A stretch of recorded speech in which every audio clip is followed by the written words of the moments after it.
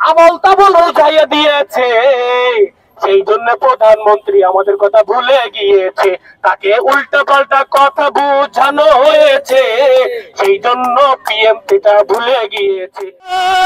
ভাই আরে ছাত্রদের পকেটে টাকা নাই মেসে খাবার নাই। তার উপরে আবার চাকরির আবেদন করার সময় কোন গাধা কোন বোকা নাকি ভ্যাট বসাইছে? আরে তিরিশের বুকে লাথি মারি পঁয়ত্রিশ দিয়ে দে। আরে টিকা তলির মোর একটা হল রয়েছে। তিরিশের বুকে লাথি মারি পঁয়ত্রিশ দিয়ে দে। আ ভাই আঠারো সালে কিন্তু ছিল ছিল কিনা কত নম্বর পেজে ছিল? স্কোয়ারে তেত্রিশ নম্বর পেজে ছিল। তারা বলেছে চাকরিতে প্রবেশের বয়স সীমা বাড়ানো হবে। সেই কথা সকল নেতারা ভুলে গিয়েছে। তিরিশের বুকে লাথি মারি পঁয়ত্রিশ দিয়ে দে। আর এ বাংলাদেশে কি এক অদ্ভুত নিয়ম রয়েছে? তিরিশের বুকে লাথি মারি পঁয়ত্রিশ দিয়েছে। ভাই আরও একটি দুঃখের কথা বলি। আমাদের রয়েছে একজন মন্ত্রী নাম তার ফরহাদ হোসেন। চশমা পড়িয়া থাকে। তাহার কাছে গিয়া রাত দুইটা পর্যন্ত অপেক্ষা করিলেও তাহার দেখা পাওয়া যায় না ঠিক কিনা? কারণ তিনি দেখেন না। কারণ তিনি চশমা করিয়া আমাদেরকে না দেখার ভান করিতে আছে। তিরিশের বুকে লাথি মারি পঁয়ত্রিশ দিয়ে দে। আরে বাংলাদেশে কি এক অদ্ভুত নিয়ম রয়েছে? তিরিশের বুকে লাথি মারি পঁয়ত্রিশ দিয়ে দে। আ ভাই এই দক্ষিণ এশিয়ায় কোন দেশে চাকরিতে আবেদনের বয়স তিরিশ নাই সব দেশেই পঁয়ত্রিশ এবং কোন কোন দেশে তার উপরে কোন কোন দেশে কোনো বয়স সীমাই নাই। তারপরেও আমাদের দেশ একটা দেশকে ফলো করতেছে। সেই জন্য আমি বলি, বাংলাদেশ এখনও পাকিস্তানকে ফলো করতেছে। দেশের বুকে লাথি মারি, পঁয়ত্রিশ দিয়ে দে। আর এ বাংলাদেশে কি এক অদ্ভুত নিয়ম রয়েছে? তিরিশে নাকি যুব সমাজ বুড়ো হয়েছে। আরে বাংলাদেশে কি এক অদ্ভুত নিয়ম রয়েছে?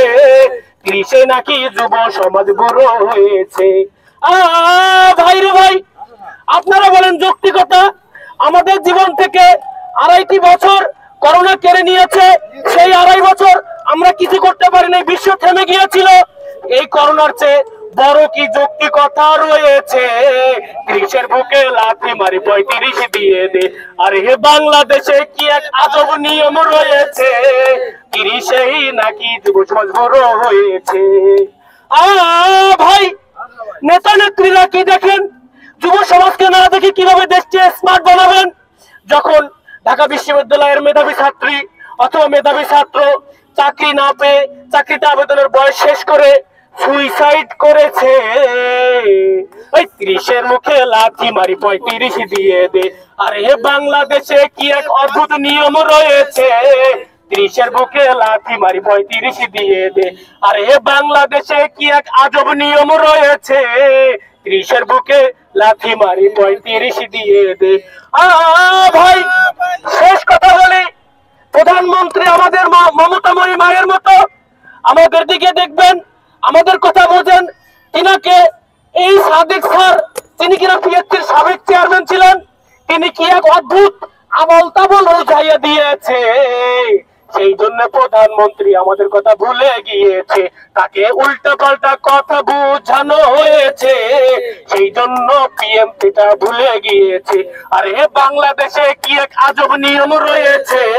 ত্রিশে নাকি যুব সমাজ বড় হয়েছে। আরে বাংলাদেশে কি এক আজব নিয়ম রয়েছে? ত্রিশে নাকি যুব সমাজ বড় হয়েছে আরে বাংলাদেশে কি এক আজব নিয়ম রয়েছে? ত্রিশে নাকি যুব সমাজ বড় হয়েছে? আরে বাংলাদেশে কি এক আজব নিয়ম রয়েছে? ত্রিশে নাকি যুব সমাজ বড় হয়েছে।